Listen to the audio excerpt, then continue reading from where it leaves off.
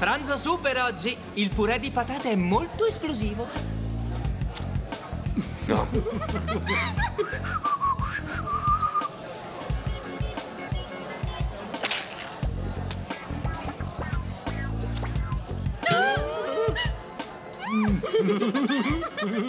Ehi, che cosa avete da ridere? Facce da gelatina.